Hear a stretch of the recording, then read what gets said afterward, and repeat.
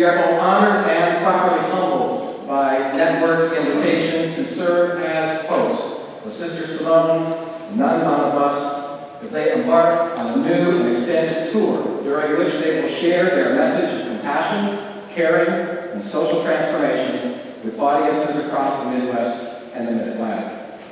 And I'd also like to welcome and to thank our many local co-sponsors for this kickoff event, organizations whose names you can see on the screen behind me. It is most gratifying to know that the work of Sister Simone and Network is supported by numerous concerned religious and citizen groups. Yes. We thank you all. Please join me now.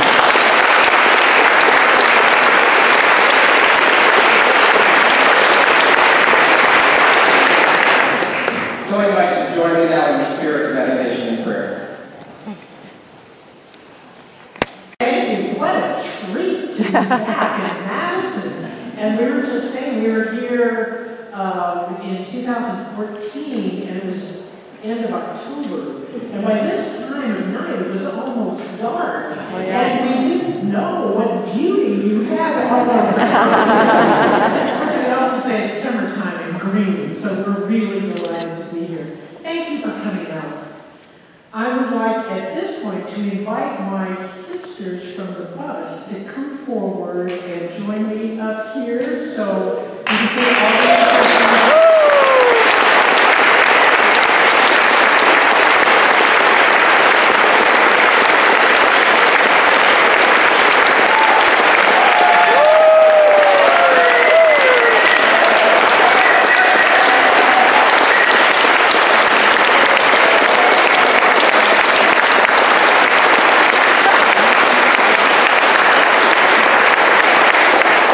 I say, lead a quiet life, join the convent. That's good. We just got together this afternoon for the first time. You're the very beginning of our trip. And I I have we're a little nervous. So there were a few butterflies in our stomach, a little apprehension, and thinking, oh my heavens, it's actually here. All the planning, all the preparation, and here we are together. And that is a joy and a challenge. Mm-hmm. I was so touched by remembering what's happened this past week. How can we not carry in our hearts that anguish and struggle of these times?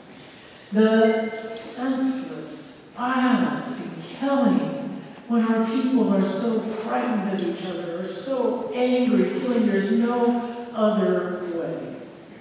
And what we're on the road to do, our little bus trip, is to say it's possible to mend the gaps, to reweave the fabric of our society, to come back together so that we don't have to be afraid of each other, so that all can be welcome, all can be welcomed in community, even if we disagree politically. Amen.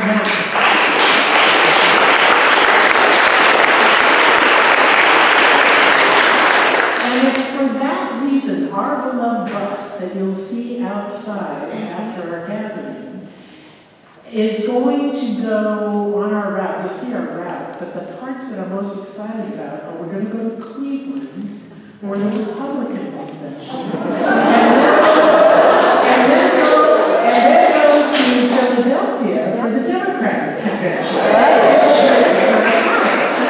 But what I realized, because people have said to me, the Republican convention, oh dear, be careful. Careful. Some Republicans say, the Democratic, oh dear, be careful.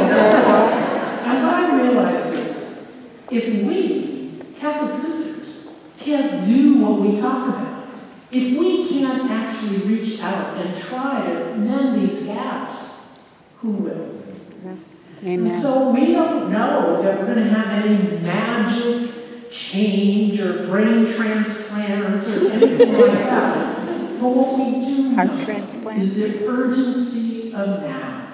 Mm-hmm. The urgency of now demands that we try to do Yes. Our part.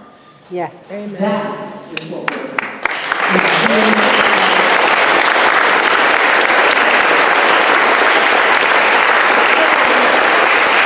So in good participatory fashion, we all have a part to play.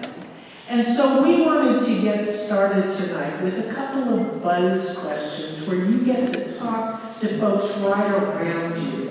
Either folks you know or don't know, um, holy curiosity is a virtue for the 21st century. And holy curiosity means you want to hear from somebody you don't necessarily know. So we have two buzz questions to get us started. And I think Clare, Clare, are you good? This way. What, there it is. Are you Short- ready? shortest one. And we have a stool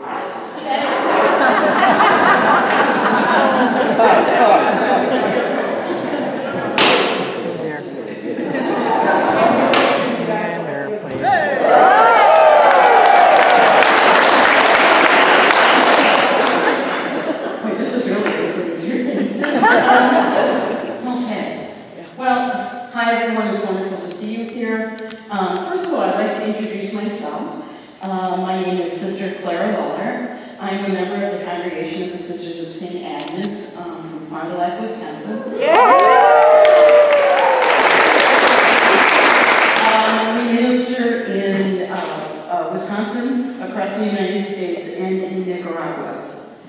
So, this year, when, uh, I teach um, uh, graduate students and undergraduate students at university. So this year, um, I was working with new teachers, and I, uh, we came across an, an idea and a theme, which was, it's on the cover of my notebook, and it says, "Let your life speak." And what it is, is a chain link fence that is being progressively cut down, and the wings are turning into very large, beautiful birds. Oh, cool. So I thought of that today because I particularly love that idea. And, and one of the questions is, so why do you go on the bus? I mean, we could be doing a lot of different things today.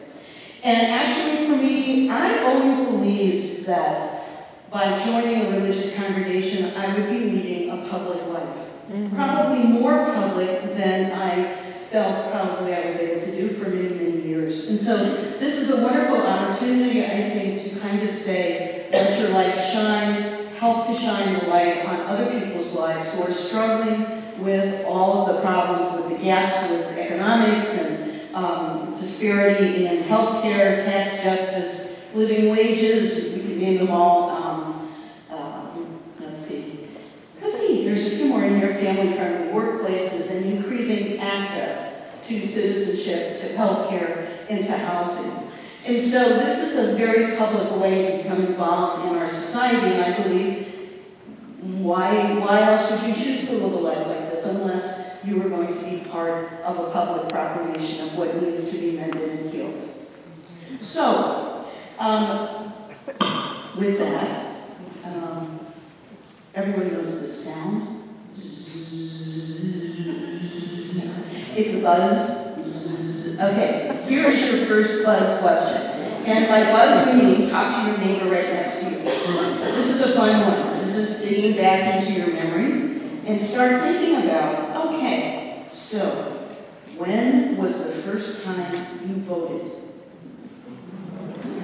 And who did you vote for? So let me say it again, when was the first time you voted? And who did you vote for? Society. And we have a couple of stories to share tonight um, about gaps that exist in our society. And as we listen, I, I would like to ask you to think, how do you experience the gaps? What do you know about these gaps? And so I'm really honored honored to invite Lynn and Jean McAdam to come up and share their story. And you have to know that, is this in your written piece? Okay, but I want to tell you, I won't give it away. I've known them for a little while now. It's a really cool story. Okay, great. And why don't you go?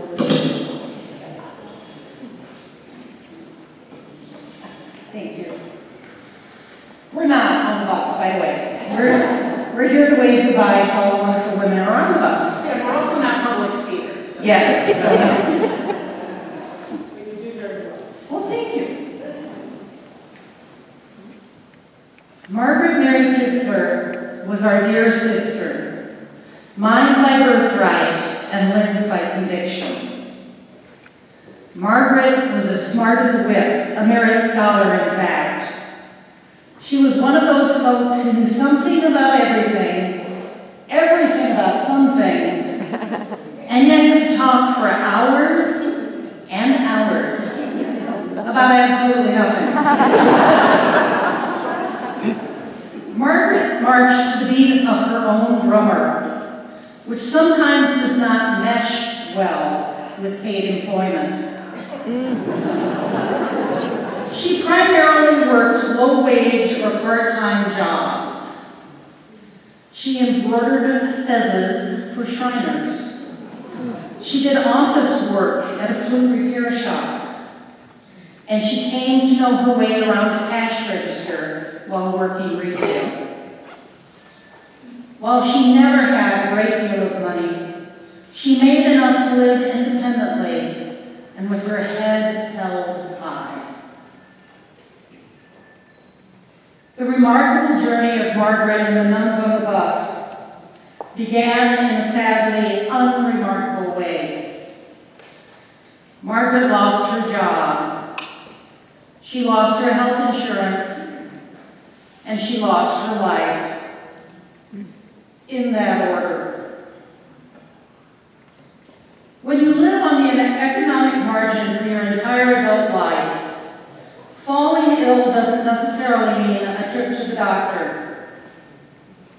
For some time, Margaret felt that something was wrong, but she knew she could not afford the care she feared she needed. While the Affordable Care Act had just been passed, it was not yet implemented. She spoke of her illness only in the abstract, not as anything for which she could afford to get help.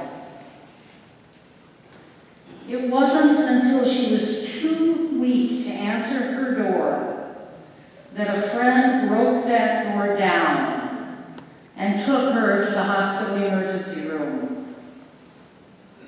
There, she was diagnosed with stage four colon cancer, mm. which had already spread to her liver and her lungs. While her fate was sealed, her influence certainly was not. While Margaret was lying in a nursing home bed that she didn't want to be in, I got this inkling that turned into a nudge, that turned into an absolutely compelling feeling that I had to go to Cincinnati to visit her and I had to go then. It didn't matter that Jeannie couldn't go. It didn't matter that it was eight hours each way. It didn't even matter that I had no idea why I had to go. Mm-hmm. It just had to happen. This was during the time when there were all the protests up at the Capitol and Margaret was following it like day to day. She would want to know how it was going. So I took along a Wisconsin 14 t-shirt with me and, she just loved it and we just took a picture on the spot. But when I got home and I looked at that image, there was something in there that went far beyond Margaret and her new duds. There was this raw honesty. Her body was so clearly weak, and her spirit was so clearly strong. And I thought, something's going to come of that image, even though I don't have a clue what it is. So since I was just going on gut instinct, I thought I should cover my bases. So I had a print made of the picture, and I sent it to Margaret. And then I asked her if it was all right for me to share her image to those who were helping others get health ac- access to health care for all. And without skipping a beat, she said, well, if you think that it would help, then yes. Now, it had even been hard for me to ask that question because Margaret had always been fiercely private, even painfully private. But here she was. She knew that she was going to die. And at her most fragile moment, in her vulnerability, she had opened herself up to being seen, to being heard, and to being known. Imagine that gift that she gave. If there, if her illness and her story could be of some help to someone else in the future she herself wasn't banking on, all in.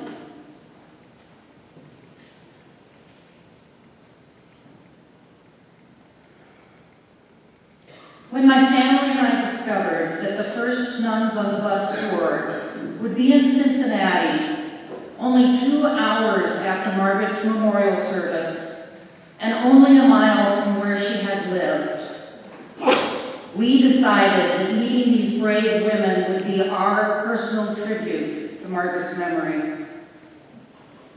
Here were religious sisters telling the truth on behalf of people much like our own sister, that access to affordable health care and the other fibers of the social safety net meet essential human needs. Though this is a political season, this is not about political ideology. It is a matter of life and death. How is it that members of Congress and states such as our own claim to be pro-life, yet refuse to expand Medicaid for all? Here, here. Is this done out of a willful of the consequences of their actions? Is this done out of a crisis of compassion where they cannot even acknowledge those still suffering? Or is it merely a political calculation done to pad their conservative credentials? Hmm. We pray that legislators' minds be opened and their hearts be broken by the realities of life and death on the economic margins. You would think that even politicians could understand that adequate medical care saves lives. And it is a Lexington, this woman comes up and puts her hand on my shoulder and she said, I'm Nancy. I'm one of Margaret's sisters. Oh, my gosh. And I want to thank you for helping to heal our family. And she walked away. And I was like, what? and I ran after her and got her. And she said that my speaking of Margaret helped her feel less guilty, less upset, less worried. It gave meaning to an otherwise senseless death.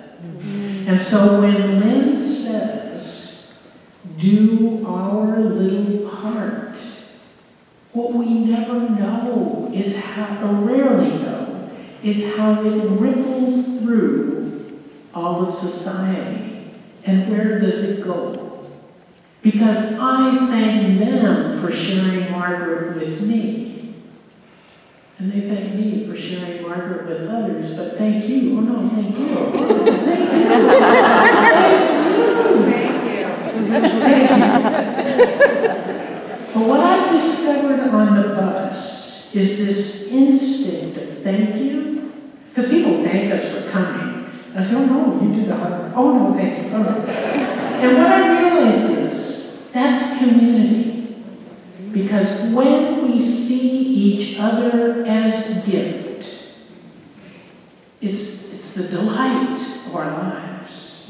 And that's when we come together and weave something new.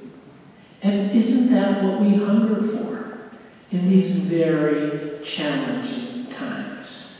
Amen. Now, I think we have to kidnap them and bring uh, uh, Jeannie and Lynn on the bus because they Yes. gave our speech so well on our elections. It was perfect. So you are-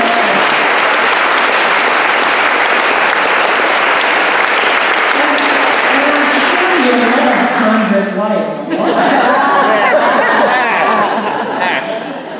But what I want to take a couple of minutes is just sharing a couple of other stories. You see on the pop-ups, we call these things pop-ups. You actually have to work to get them up. They don't pop.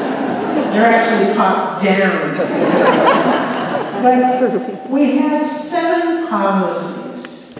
And what we know is that policies got us into this mess we're in conscious choices. Now, whether they knew all that they were doing or not, who knows? But conscious choices got us into this mess. And the good news, the good news, is choices can get us out. Yes. That is the good news of our time. We can make change. But it's not going to come from our polarized politicians. It's going to come from us saying, we can do this. And so at Network, we picked seven policies. Now, people tell me, well, it doesn't include this, it doesn't include this, and it doesn't include something else. That's true. We're a small organization, so we have to limit ourselves. But what we know is that income and wealth inequality are sucking the life out of our economy and out of our nation. Now, I want to tell you two stories. One is about Robin, who I met, here's my trouble, is I've told Robin's story in and around this area, so if you've heard my story about Robin, just look interested. Um, But Robin, I met ironically at the White House, and she was there for President Obama's signing of the uh, executive order to raise minimum wage for federal contract workers. And she was there because a friend of hers was going to get a raise. And she was so excited. And she said to me, Well, I'm not going to get a raise, but I know if my friend does, eventually I will too. And she was so excited to be in the White House, having grown up in Northern Virginia and never been in the White House. And so she took a picture of the chair she was sitting in. Then she had me take a picture of her sitting in her chair. And then we got talking further. She had this beautiful blue dress, and it was from her shop. She worked for a national clothing store chain, full time, at minimum wage. And then she said, You know, by looking at me, you would never know I have to live in a homeless shelter because I can't afford rent in this area. That is wrong in the richest nation on earth, where we say if you work hard, play by the rules, and you can support your families. This is no longer true. We have got to work for a living wage, not just minimum wage. And the living wage is enough wages so that, ooh, radical thought, maybe you could have a day off with your family and not have to work a second or third job. Yes. Yes. Too many families are desperate for time together. And on the bus in the fall, we were in Memphis, and this seven-year-old came to, I think, or came to our town hall, and we were asking questions about what are the divides? What are the divides in your city? The seven-year-old raised her hand. And so, of course, I had to give her the microphone, see what she had to say. And she said, that parents have to work too many hours and they don't get to spend time with their kids. Wow. And I said, well, how did, how did she know that? That's pretty astute for a seven-year-old. My mommy has to work nights and I don't see her then. And that daddy works the days and I don't see him in the morning. What a time, what a time. But that goes with Jason, who I met in La Jolla, who's one of the top 1%. Jason told me that he was getting upset because his tax dollars were going to fund his. Your tax dollars are going to fund your competitors? I don't get it. How's that? What he said was he pays all of his employees a living wage, but his competitors don't. So his competitors have their employees use the social safety net in order to mm-hmm. survive. Mm-hmm. Jason knows he's in favor of his tax dollars going to create a social safety net. But they're no longer just for people who've fallen on hard times. They're now a business subsidy. Mm. And we, the people, have to make that clear. That is not what they were intended for. And so Jason, while he's perfectly happy and delighted to pay a living wage, doesn't want his tax dollars funding his competitors who can underbid him. Mm. We've got trouble. Mm-hmm. And then I was in Lubbock, Texas, I was telling a couple of you this story, in Lubbock, Texas, talking about this problem, lifting up these issues, and the kids at the Texas Tech University said, ooh, but having higher wages, isn't that gonna hurt the economy? And I realized we've taught our young people to worry more about the economy than they do about our people. Because our people are suffering now. And this is why I love it, that Pope Francis is on our side.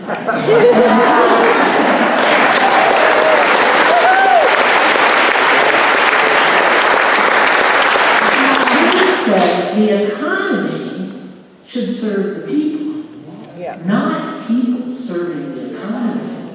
And that's the cultural change that we need to be about. That is the huge challenge for us. And then in order to do that, that means we need to get health care for all. It means we need to access to voting. It means we need to make sure that everyone has a safe place to live, affordable place to live. What an idea. And then we have to make sure that our immigration system is fixed so we're no longer exploiting Mm-hmm. those who are at the margins. Amen. We've got our work ahead of us. So now I hope you all got, did you get your new cards? Everybody have cards? Yeah, yeah. No. Yes. Okay, my sisters have, that we call them swag bags to pass out cards. You don't have them. But on one side, it says nuns on the bus, and you get our seven, Right. our policy pieces. Okay, raise your, up at the top, it seems like up at the top, so. Okay, this is the first time we've done this, so this is kind of fun, figuring out how it's gonna go. Actually, I want two for Thank I hate to call you guinea pigs as you work this.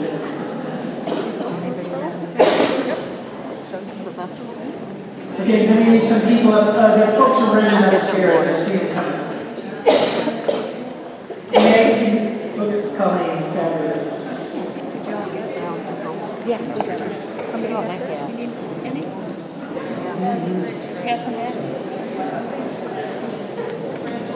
Okay, maybe while we're getting that, some people really like texting. Uh, if- How, that it's impossible. So don't go to your family members, but you take my family, and I'll take yours. And make progress together, okay?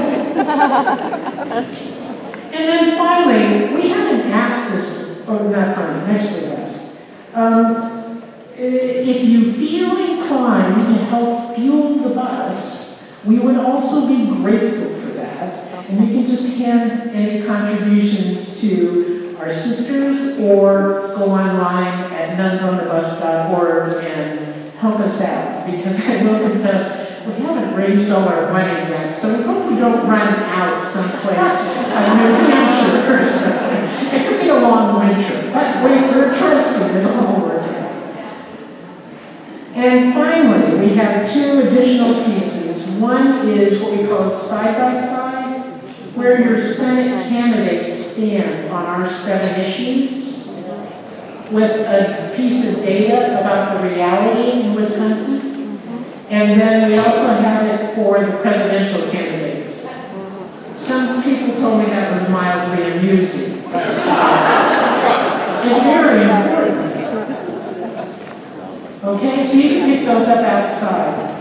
The other thing is to let you know that if you want to share these with friends, feel free to take extra, take them with you, take them home, send back the cards, but share the side-by-sides, so the stories get told.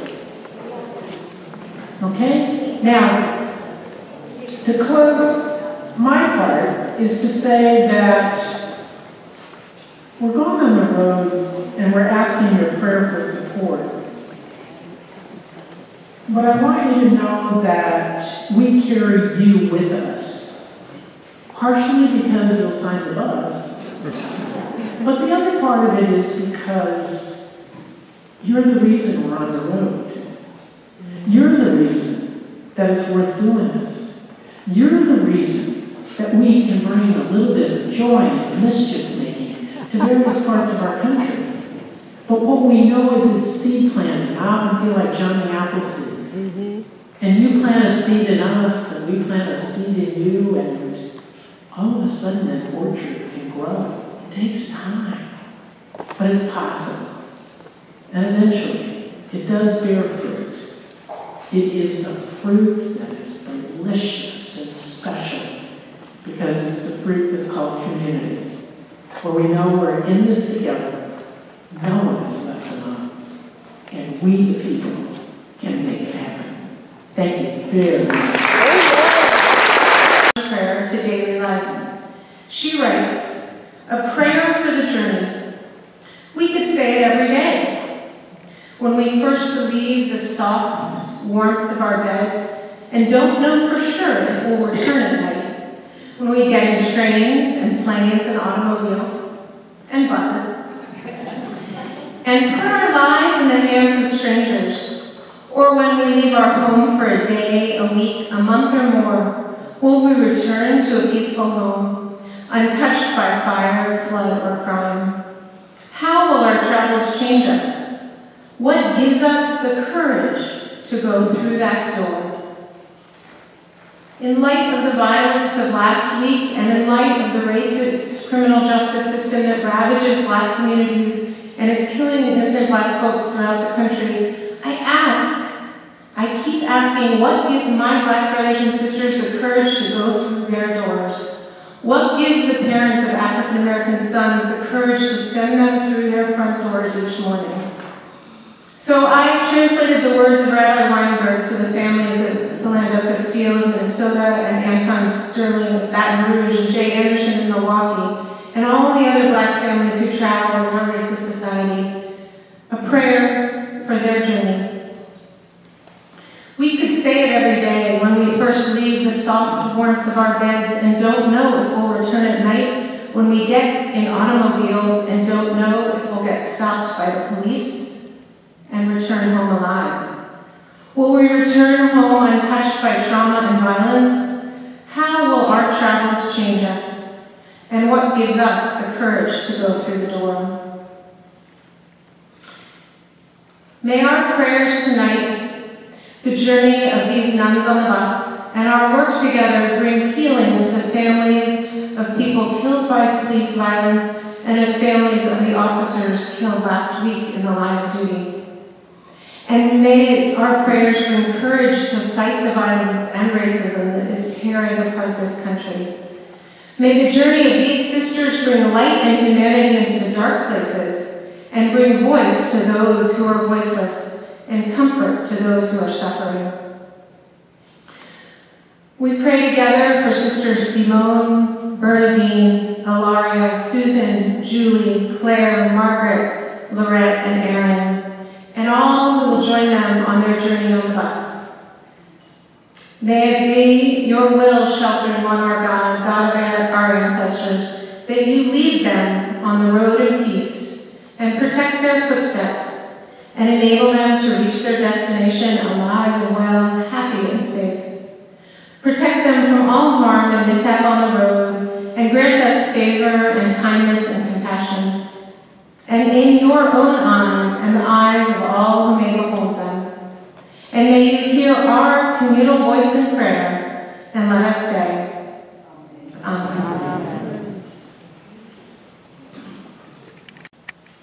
My name is Stephen Marsh. I'm a co-pastor at Lake Edge Lutheran Church, and I have been asked to give a Christian blessing to our sisters as they go.